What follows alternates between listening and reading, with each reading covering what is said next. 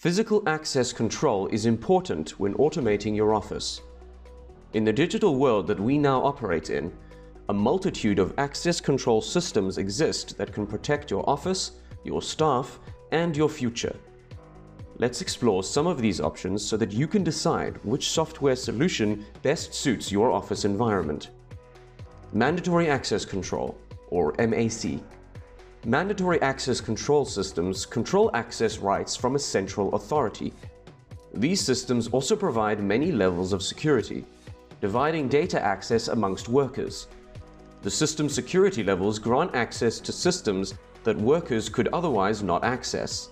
One can also pair these systems with discretionary access control, or DAC, to protect networks, thereby achieving maximum security for an office.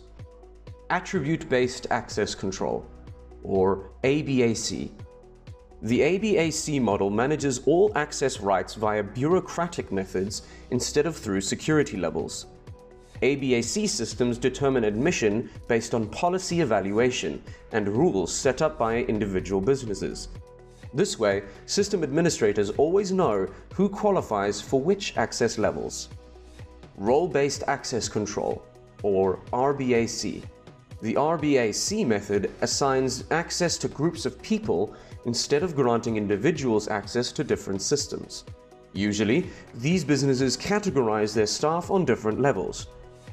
This system also works well for buildings housing different divisions.